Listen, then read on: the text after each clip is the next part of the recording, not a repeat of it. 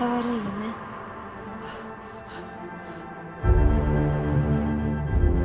ご両親。空襲でやられたようです。兄さんも私と同じね。親子ともども縁あってこうして引き取ったんだから。だから私はどんなことがあっても死んではいけない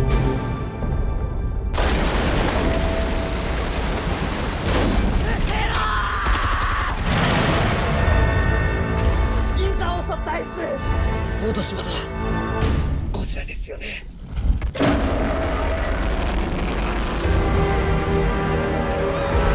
あんなもん倒せっかありません。東京がまた火の海になるのは見たくない。戦争が終わってないんです。今度の戦いは未来を生きるための戦いなんです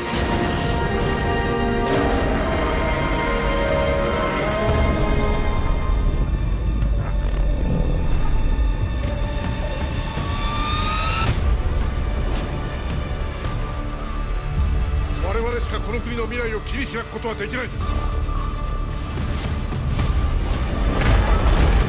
あの怪物の生態は未知のことが多す。ぎてる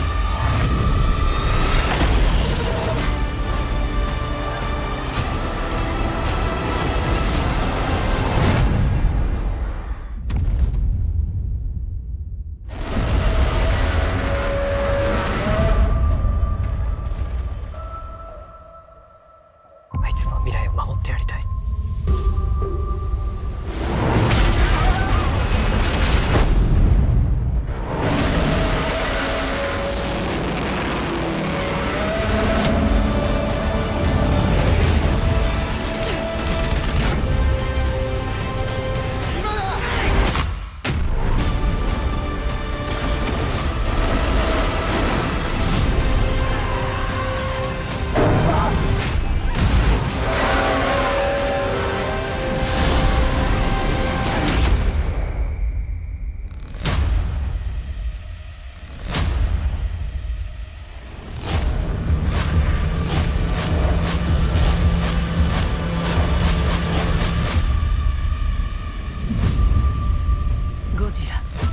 マイナスは。